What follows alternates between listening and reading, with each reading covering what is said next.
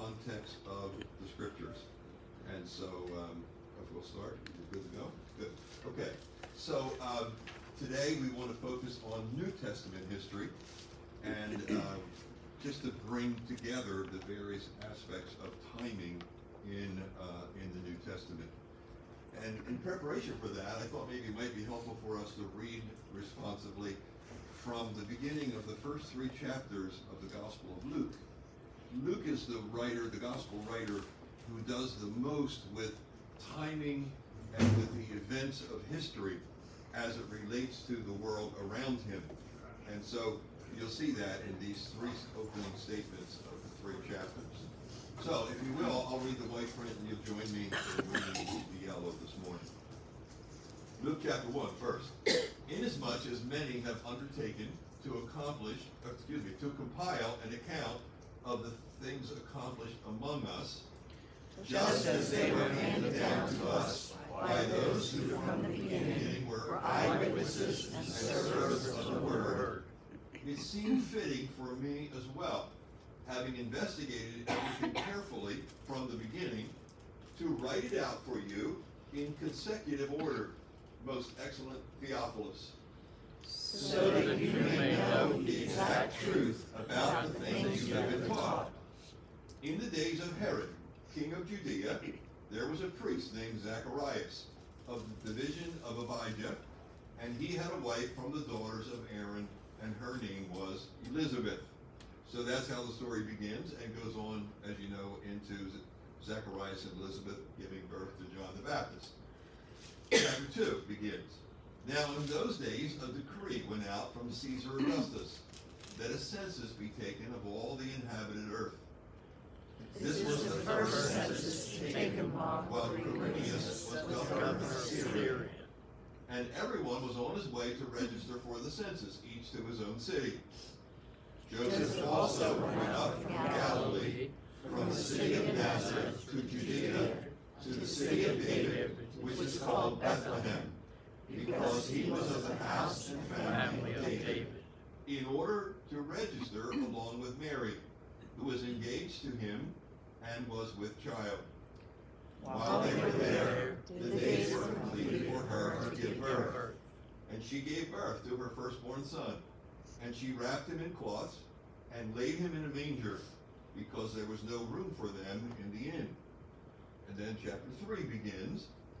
Now, in the fifteenth year of the reign of Tiberius Caesar, when Pontius Pilate was governor of Judea, and Herod was tetrarch of Galilee, and his brother Philip was tetrarch of the region of Iturea and Trachonitis, and Lysanias was tetrarch of Abilene, in the high priesthood of Annas and Caiaphas, the word of God came to John, the son of Zacharias, in the. Came into the district around the Jordan, preaching a baptism of repentance for the forgiveness of sins. As it is written in the book, the words of Isaiah the prophet, the voice of one crying in the wilderness, make ready the way of the Lord, make his path straight. So it's just interesting to me that Luke chooses to include all of this political information as he introduces first the birth of John the Baptist, then the birth of Jesus, and now the ministry of John the Baptist and of Jesus. So this is our timeline. Uh, we're working on this. Uh, you have it hopefully now written right on the inside of your forehead. So you close your eyes, and that's what you see. It is 4,000 Adam, 2,400 Noah, right? So you, that's what you see. And so you can place yourselves wherever you are in the study of God's Word. Last week we looked at this period of time, what we called intertestamental, up until the birth of Jesus. And today we want to look at the New Testament period. And then we'll move on from there into the future. But um, our focus here today. It still all revolves around Abraham and the call of Abraham. We said that as we looked at it. God called Abraham from Ur to Haran and then to Canaan, and uh, the biblical focus centers on the land of Canaan here as Abraham moves to this location. Now, this is where we left off at the end of our time together last week. And I thought it would be helpful for us to put this back up, give you a chance to um, interact with that, and maybe you have questions. What we were trying to do last week is to point out what was happening in the land of Israel this period of time. From really Isaiah 750 all the way down to the time of Jesus. And these were the major world empires. First Assyria, then Babylon, then Persia, then Greece, and finally Rome. And this is what's happening or not happening, as the case may be, in the rest of the world. So, I don't know if you have questions. Basically, what I was trying to show us, I'll come back to that in a second, was that the Middle East is the very center of, of God's plan. It's the center of known human history, of, of detailed history. And so from 2000, 2400 BC, from the days of Noah, all the way down to the time of Jesus, this is really the focal point of history, both from a secular viewpoint as well as from um, as well as from the um, biblical viewpoint. So, questions, or you have all the answers? There's kind of no place to go here. Oh. I was just trying to give you a frame of reference, like for Socrates and Plato. Okay, they occurred here. Aristotle was after Plato. Um, Confucius down here. For most of them, the dates are approximate. it's not until we get down into this period of time that we start to have fairly firm dates. Um, nobody has an exact date for the birth of, of Socrates, but uh, most people put down the year that he died. And then we start to have more specific, detailed records. It's very interesting to me uh, how little how little we know of all of this, because the Bible is really the authoritative source for world history up until and through the time of Jesus.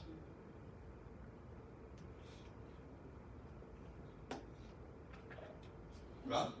It's not a question. I think it's an observation that I think is fascinating. That people don't question Plato, Socrates, Homer, and their writings, and was it watered down over the years? But yet the Bible's different. Like it's under complete attack. And there's, there's so much more proof about the Bible, like Yeah. word for word. Yeah. But no one questions them. Like that's just deception. I, Yeah. and Why do that's, you that's suppose that is? The devil. Because of Satan. The enemy. Because of the evil one who wants to undermine the authority of God's word, right? So we look to all other kinds of authority in the world around us, and especially people who um, who are not focused on the Lord, who don't who don't have faith in Jesus, who have not been born again into God's family, are looking for ways to justify how they want to behave, what they want to do, and so forth. And so um, it's easy to accept these philosophers. The other thing I think about them is, is that as we move through this process, we are moving more and more away from the revelation of God's Word, aren't we? The further we come down through the course of history, the more we deviate, the more we move away. That's a general principle, um, and it's sort of recorded for us in Romans chapter 1 when Paul says, all men are responsible because everybody had access at some point going back historically to the truth of God. That God made himself known, made his the reality of his existence known, and so on. Can I comment on that? Sure. Um, so you said everybody's made, it was made known, but only in that area, right? Like, you think of, uh, the comment, like all roads lead to Rome, but like in North America, South America, Africa, it took, it seems like it took a long time for the word to get to those Yeah. is that just the, the plan or, uh, It seems you know what I mean? It's like, it doesn't seem like there was concentrated efforts on whatever to make that word known right away for some reason. What we see happening in each of these, in Europe, in Africa, China, the Orient, and so forth, is very sketchy history back here, right? Because people are moving out from the center. So the, the Bible, as we saw about three weeks ago, the Bible says that all of the earth's population come from the Three sons. three sons of Noah, right? So that means, we had this map here, that somewhere in here, the ark settles, and Noah and his sons exit the ark, and so the entire Earth's population has to spread from here. And what we're seeing is, is that we do not have really much at all in terms of any accurate, authoritative historical records outside of this area and outside of the Bible. But as, as men move from this direction, they also move away from the truth that they took with them. So everybody had access to the truth from their forebears, the sons of Noah, and from what had happened.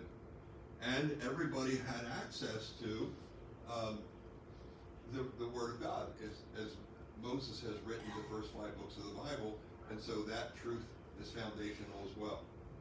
But as they move out, they move away, and even within the local area, as they move on, they move away from the authority of God's Word because we don't like being under God's authority.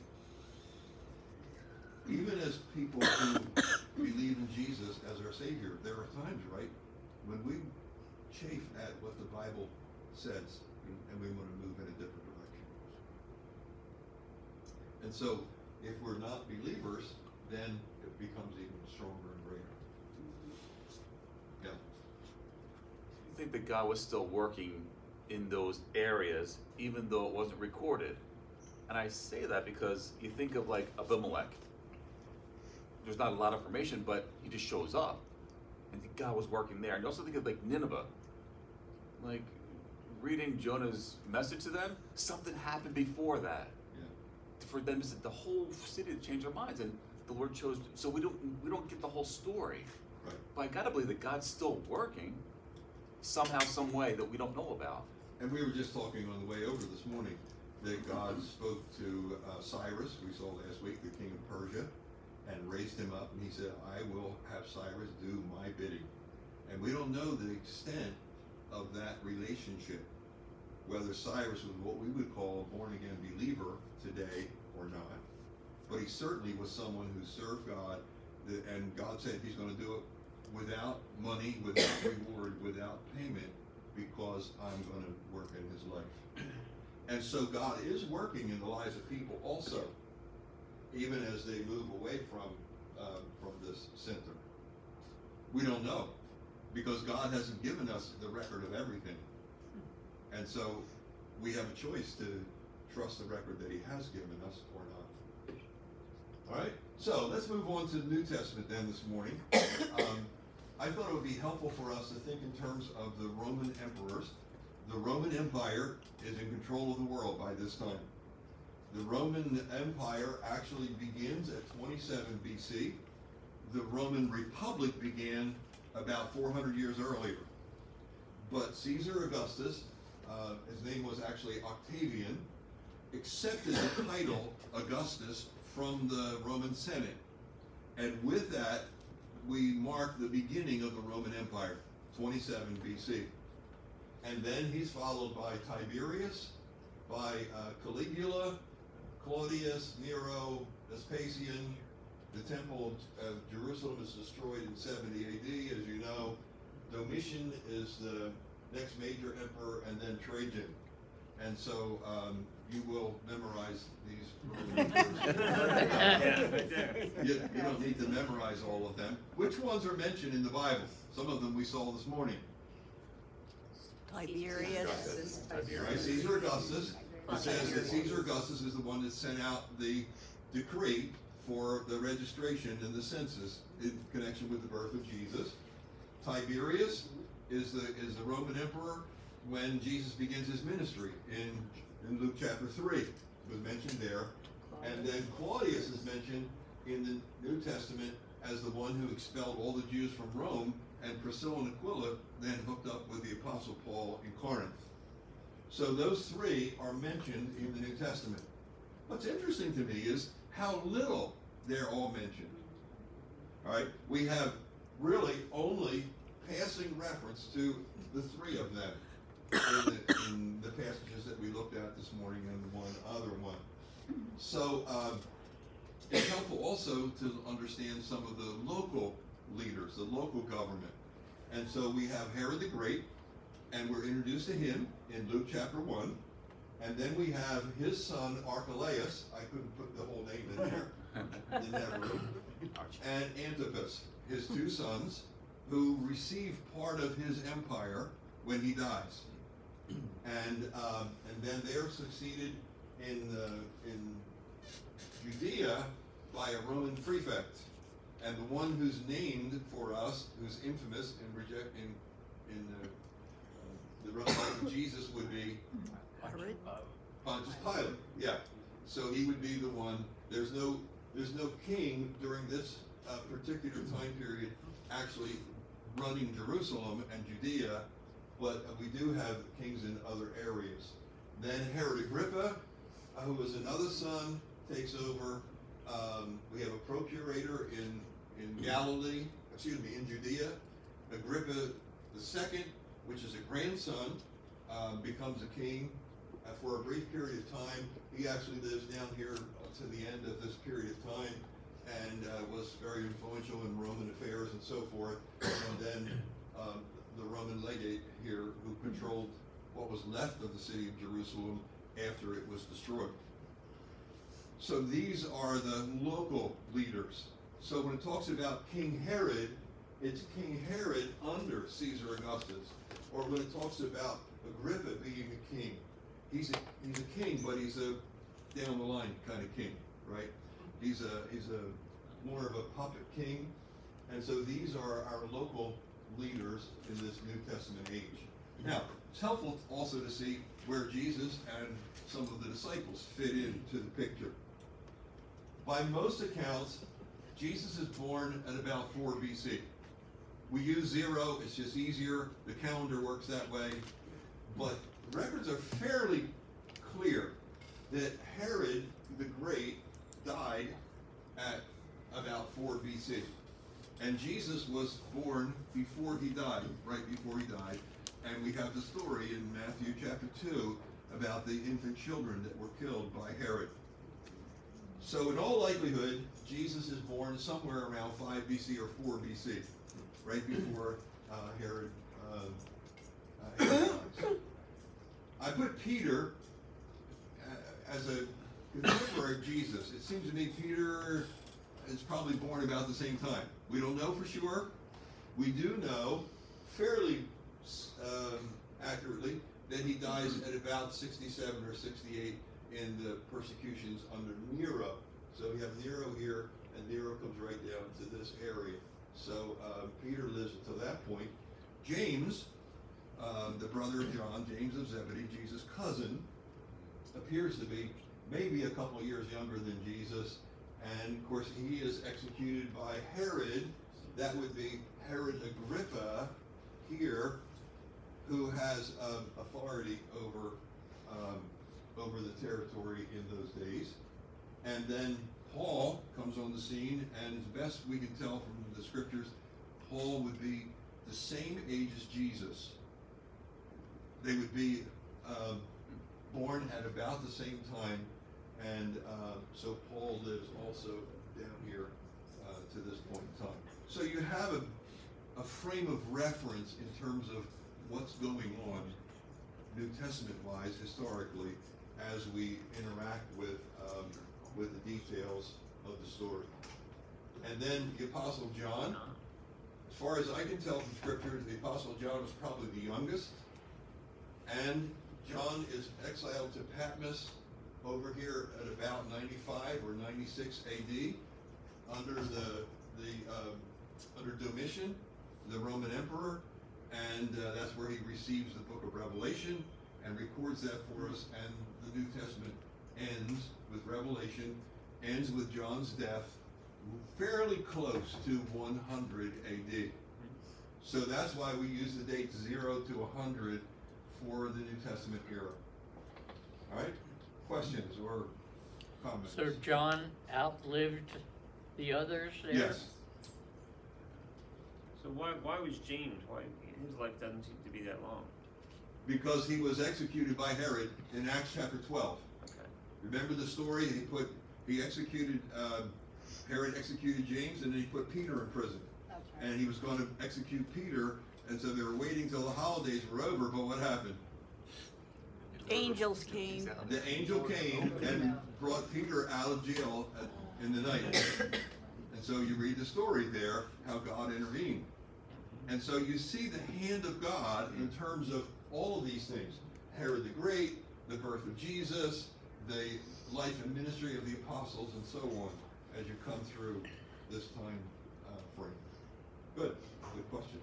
So, so James had a brother John, Yes, and they were, were they the sons of thunder? yes, How'd they get that name? Jesus gave it to them, Was it something crazy or? because they were like you. They were always causing trouble.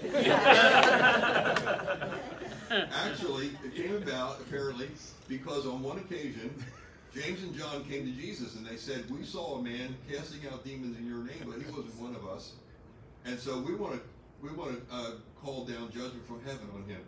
And Jesus says, "You guys, you guys are th- sons of thunder. You guys always want to to uh, create those kind of things." Yep. Me too. And so a couple of occasions like that, and so Jesus gave them that nickname, Sons of Thunder. Yeah. Look out, look out, I got thunder. Yes, ma'am. I get confused. Okay, so Jesus had a brother James and a brother John. Uh, no brother John. No brother John. James and John, So the James and John here Okay. are Jesus' cousins, first cousins, Which is sons of Zebedee okay. and Mrs. Zebedee. So the the John that you said is his beloved is that John? Yes, Okay, that's first cousins, okay. all right, as best we can tell from scripture. Good question. Zebedee was Mary's brother, or his, who, who was? Zebedee he was related? married to Mary's sister. Oh, okay.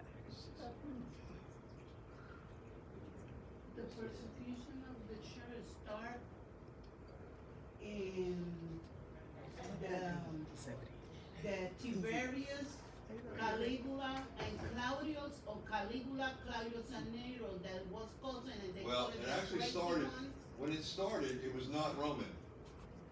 It started because of the Jews, Because of what? of the Jewish people. Uh-huh. The Apostle Paul, before he became Paul, and others here in about 35, 34, 35 AD, started that first persecution. The Christians. So that was Jewish. Okay. The Jewish people were persecuting the Christians. Exactly, The Roman persecution doesn't start till you get over here. in Claudius. Claudius and especially You know Caligula? Caligula was a was a monster. Well, But they uh, said that three of them was cousins. I think Caligula, Claudius, and Nero, Uh, or they might have been. Tiberius. they might have been. They're Roman emperors and they come from the, the royal family. And they was cuckoo, all of them. Yeah. Yeah. And Dick, with, with James though, this, Jesus also had a brother named James, Yes, and that's the one who wrote the book of James. that's right. I heard So I didn't put uh, James's half brother James on here, um, but he he would be slightly younger than Jesus, and he died by most accounts right about the same time here as Paul and Peter. Um, but we don't have any authoritative word on that. All we have is church tradition. And so it's sometimes hard to deal with church tradition versus, um, of course, the authority of Scripture, which we can uh, accord. Church tradition according to deaths, Church tradition, according to when they died. yes, But we do know from the biblical record that he is Jesus' brother. yes, that's correct. Jesus' brother, yep. Okay. James wa- was the one that had the first in Jerusalem, the first, he was the first, uh, in charge of the church. Yes, in the book of Acts, James is half brother Jesus, who was the, like the bishop or the overseer of the church in Jerusalem. So Did you when you have Paul coming up to? Jerusalem, he goes to James and the elders. And that would be the James who is the half brother of Jesus, who wrote the book of James. Okay? Interesting. Yeah, I thought it was just helpful for us to see the, the uh, missionary journeys of the Apostle Paul. Um, there are four of them. The first one is the dotted red line to Cyprus, up into Galatia and back. The second one is uh, green, I think. No, second one is the purple. And so the purple, he goes this way through Galatia, and the Spirit of God won't let him go west, so he goes north, comes to Troas, and then over into uh, Greece and you have him go into Philippi and Thessalonica and so forth. And then he returns. The third trip in the same area, except now he goes across to Corinth and he spends a lot of time there at Corinth and so on. And then you have the uh, the uh, travels of Paul in the shipwreck experience out here in the middle of the Mediterranean, and he goes on to Rome. That covers a period of time from about 47 to about 50, about 57, about 10 years he made these three missionary journeys, which is pretty incredible when you think about it. He didn't have planes, he didn't have the modern transportation and so forth, and then you have him imprisoned down here in Caesarea for two years, and then he goes through the shipwreck and he's imprisoned in Rome for two years. So, uh, from about forty-seven to sixty-two, so about fifteen years, four of which were spent in incarceration. And so what Paul accomplishes in that period of time is nothing short of amazing in terms of what's happening. All right, that's a whole other study in itself in terms of going through that. Uh, here's, here's what stands out to me. Paul writes in, in Galatians chapter four, but when the fullness of time came, God sent forth his son, born of a woman, born under the law, so that he might redeem those who were under the law, that we might receive the adoption as sons. So what Paul is saying is that Jesus' birth was at the perfect timing. Mm. So perfect timing, you think about what's going on in the Roman Empire, what's going on with these guys, some of whom were were Right, right. sometimes just not in their right minds and so forth, and yet this is God's perfect timing. There are at least four things that contribute to that being the perfect timing. One is Pax Romana. Pax Romana is the Latin phrase for Piece of road. the peace of Rome. So the Romans had established their authority over the empire, and peace prevailed. And so you could travel, you could move about the empire. In conjunction with that, you mentioned before Roman roads. All right? So we have Via Romana, the roads of Rome. And so not only was there peace, not only could you could people travel safely because there wasn't the warfare and everything going on, they also had the means of travel. And then there was also the, the lingua franca. That's an expression that's used to mean a universal language. And Greek was the universal language of this whole period for this time. The Greeks had had profound impact over this whole area. All right, Rome, uh, Alexander the Great was back at what date? About 330 BC. So the Greeks controlled this whole area from 330 BC all the way down until the Romans took over about 150. And so the Romans absorbed the Greeks and the Greek uh, culture and language and so forth. And so uh, Koine Greek was the language that was spoken in the whole area. That's called the lingua franca, the universal language. And then the fourth thing was the Jewish um, sense of frustration and despair. Because the nation of Israel had had these promises about Messiah who would come. And they've gone through these various world empires, and there's still no Messiah. And so the Jewish people are longing for uh, God's uh, preservation and God's provision of a Messiah. And so you have this whole situation into which Jesus comes. It's not ideal in terms of a what we would call a Christian emperor, but it is ideal in terms of God's perfect timetable for the, the transition in time. And so um, it's just helpful to think in terms of where the New Testament books fit in here. Um, if I list them out for you, um, most of them are written right in here. Uh, the green is the Apostle Paul. Um, blue are the um, the apostles, and then uh, James uh, fits in here with the general epistles. So what's interesting is that the book of Genesis covers this 2,600 years of history. Remember, we saw that it covers this long period of time from the creation of Adam at 4,000 all the way down to the life of really, we start with Moses in the book of Exodus. So really 2,600 years, and then a thousand years for the Old Testament books, the rest of them, from Exodus through Malachi. And when you get down here, you have the New Testament written in 50 years. Starting with, with James is probably the earliest book at about 45 or so, until the book of Revelation, about 95, 96, 97, somewhere along in there, that Revelation is written. And so the focal point is, is coming in. What we're doing is we start out with a very broad perspective and we zero in on the life of Jesus and the ministry in the New Testament. And so it's helpful for us to understand uh, these significant things that are taking place here.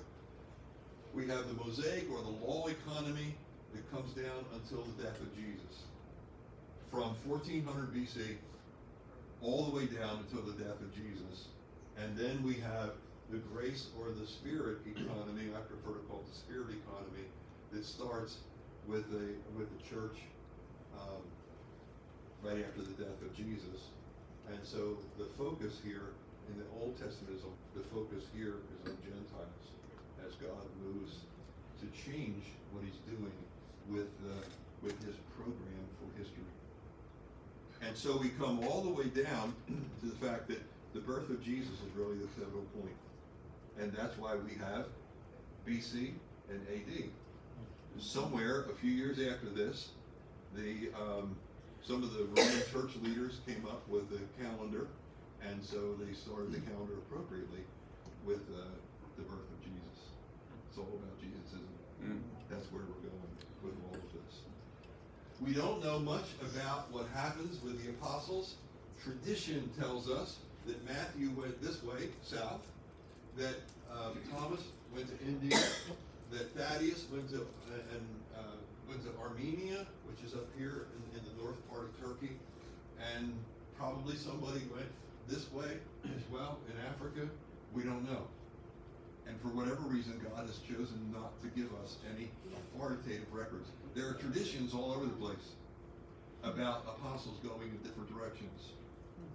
What we do know is that the gospel begins to spread from here and move out into the uttermost parts of the earth. And so we want to wrap up with just a couple of thoughts. First, uh, it's God's redemptive plan that's effected through the life of Jesus in the New Testament, isn't it? Jesus comes, as Paul says, born of a woman, born under the law, that he might redeem those who were enslaved under the law. The spiritual administration is adjusted. And so when Jesus dies on the cross, the temple curtain is torn in two, and we have a whole new administration that's introduced. The Apostle Paul is the one who, who lays that out for us in his epistles. And then thirdly, um, the Gentiles are now included in God's plan. He's going to go back to Israel, but the focus is on Gentiles. And the New Testament says that what Jesus did on the cross was so significant that just preserving and saving the nation of Israel was not enough reward. And so God said, I'm going to bring millions of Gentiles into the family of God as part of the reward for what Jesus has done. It's all about Jesus. Father, help us as we seek to um, understand and, and reflect on these truths as we appreciate what you have done and what Jesus has done. The sacrifice that he has made is such an awesome thing. We just thank you and praise you. Lord, I pray that you, with the fact that as you were engaged in history back then, in the midst of far from perfect political uh, or cultural circumstances, so you're engaged in our lives, far from perfect political and cultural circumstances. Help us to walk with you and trust you, even as Jesus did, even as the apostles did. It's in Jesus' name that I